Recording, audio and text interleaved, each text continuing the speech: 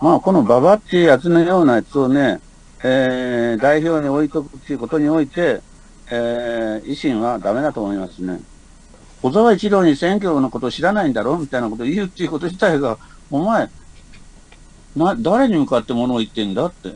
だからそれは自民党でくっつけばいいじゃないですか、もう。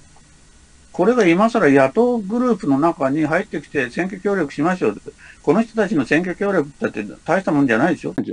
えー、玉木雄一郎はですね、またあの、どこでしたっけ、あの、連合の吉野、吉野智子会長ですか？あのとこに行って、荒井のとこに行ってですね、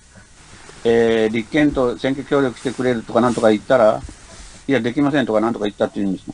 だからもうね、ああの、うん、国民民主党はね、自民党の別動隊だから、えー、自民党と合併した方がいいと思いますよ、僕は。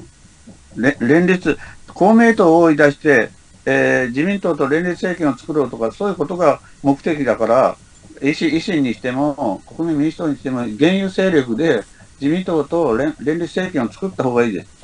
そしてどっか、あの大臣にでもなってですね、いや、俺は偉くなったなと思えばいいんじゃないですか。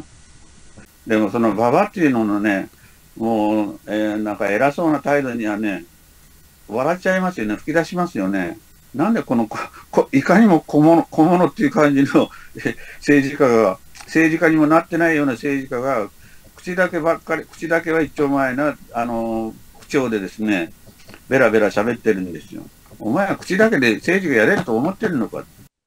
だから今か、維新とですね、国民民主党は野党潰しに動いてるんですよ。